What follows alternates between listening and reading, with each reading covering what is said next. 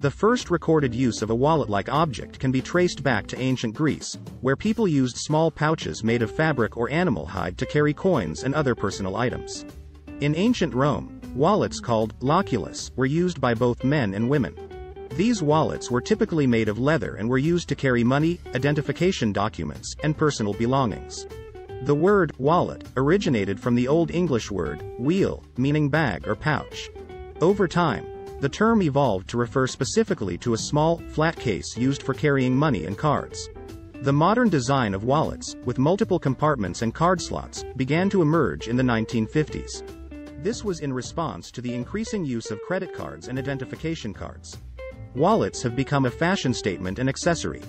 Many designer brands offer wallets with unique patterns, colors, and embellishments, allowing individuals to express their personal style.